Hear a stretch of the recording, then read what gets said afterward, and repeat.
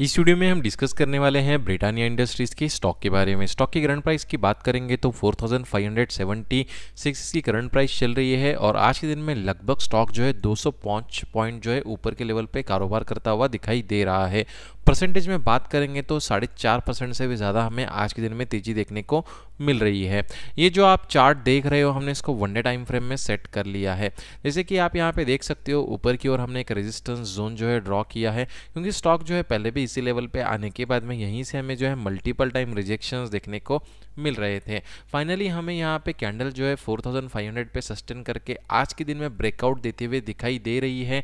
और इसके चलते अगर से यहाँ पे कैंडल सस्टेन करके क्लोजिंग दे देती है तो फर्दर स्टॉक में और भी ऊपर की ओर हमें तेज़ी कंटिन्यू होते हुए दिखाई दे सकती है। अगर से आप इसमें फ्रेश एंट्री का प्लान करना चाहते हैं तो इसके नीचे का छोटा सा स्टॉप लॉस रख के आप जो इसमें फ्रेश एंट्री का प्लान कर सकते हैं। इसके चलते फर्दर स्टॉक में नेक्स्ट अच्छे, ऊपर के अच्छे लेवल्स हमें अच्छे होते हुए दिखाई दे सकते हैं।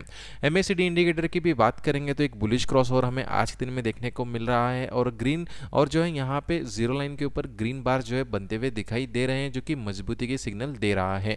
तो चलिए दोस्तों, अब हम चेक कर लेते हैं इसका लास्ट फोर ईयर का फाइनेंशियल ट्रेंड और फोरकास्ट एनालिस्ट हमें क्या सलाह देते हैं बाइंग की। 2019 से लेकर 2022 तक का लास्ट फोर ईयर का डेटा हमारे सामने शो कर रहा है। कंपनी की ग्रोथ की बात करेंगे तो 19 से 21 तक एक काफ़ी अच्छी ग्रोथ हमें स्टॉक में कंपनी में दिखाई देखने दिखाई दे चुकी थी। लेकिन अगर हम 22 को 21 के साथ में कंपेयर करते हैं तो यहाँ पर रेवेन्यू में तो हमें जंप देखने को मिल रहा है, लेकिन प्रॉफिट में गिरावट भी देखने को मिल रही है। तो चलिए दोस्तों हम चेक कर लेते हैं इसका फोरकास्ट एनालिस्ट हमें क्या सलाह देते हैं बाइंग की। दोस्तों, अभी तक आपने एंजल वन में डिमेट अकाउंट ओपन नहीं किया है तो लिंक जो है डिस्क्रिप्शन बॉक्स में दे दी है, उस लिंक का यूज़ करके आप फ्री में डीमेट अकाउंट भी ओपन कर सकते हैं। 34 एनालिस्ट जो है, मैं यहाँ पे 65 परसेंट बाइंग की सलाह दे रहे हैं, जो कि अच्छी खासी सलाह हम इसको कंसिडर कर सकते हैं। तो चलिए दोस्तों, अब हम चलते हैं एंजल वन ऐप में।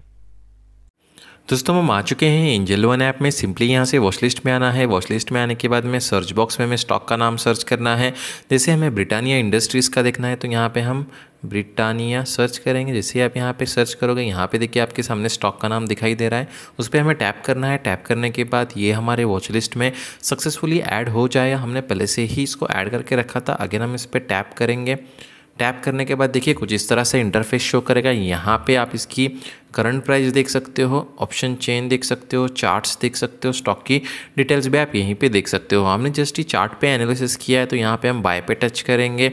बाय पे टच करने के बाद कुछ इस तरह से इंटरफेस शो करेगा। यहाँ पे देखिए इंट्राडे का ऑप्शन दिया है और यहाँ पे डिलीवरी का। डिलीवरी में आप तब बाय करेंगे जब आपको स्टॉक को बाय करके होल्ड करना होता है। और इंट्राडे क्या होता है? इंट्राडे यानी कि स्टॉक को same day buy same day sell करना होता है तो आप इंट्राडे में करते हैं। यहाँ पे देखिए सिंपली हमें क्वांटिटी एंटर करनी है। मान लीजिए हमें यहाँ पे टेन क्वांटिटी बाय करना है तो हम यहाँ पे टेन क्वांटिटी एंटर करेंगे। यहाँ पे लिमिट और मार्केट का ऑप्शन दिया है। लिमिट यानी कि स्टॉक को आप अपने मनपसंद प्राइस पे ख़रीद सकते हो। जैसे कि आप बाय करना चाहते हैं फोर थाउज़ेंड फाइव हंड्रेड पे तो यहाँ पे लिमिट में एंटर करके रखेंगे। जब भी स्टॉक की प्राइस वहाँ पे जाएगी, आपका ऑर्डर जो है सक्सेसफुली एग्जीक्यूट हो जाएगा। अभी देखिए यहाँ पे मार्केट रेट दिया है। मार्केट रेट यानी कि स्टॉक की जो भी करंट प्राइस चल रही होती है, उसी पर आपका तुरंत ऑर्डर जो है एग्जीक्यूट हो जाता है। सिंपली यहाँ पे हम बाय पे टच करेंगे। बाय पे टच करने के बाद यहाँ पे कंफर्म आ जाएगा। कंफर्म पे हम टच करेंगे।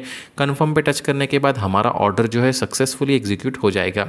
सेम प्रोसीजर रहेगी डिलीवरी के लिए। तो दोस्तों, आज की इस वीडियो में सिर्फ़ इतना ही था। वीडियो अच्छा लगा तो वीडियो को ज़रूर लाइक करें और ये जो वीडियो बनाई है, सिर्फ़ और सिर्फ़ एजुकेशनल पर्पज़ के लिए बनाई गई है। जब भी आप कोई भी स्टॉक में एंट्री बनाते हैं तो अपने फाइनेंशियल एडवाइज़र से कंसल्ट करके ही उसमें एंट्री बनाएँ। तो चलिए मिलते हैं नेक्स्ट वीडियो में इसी यूट्यूब चैनल के साथ। तब तक के लिए टेक केयर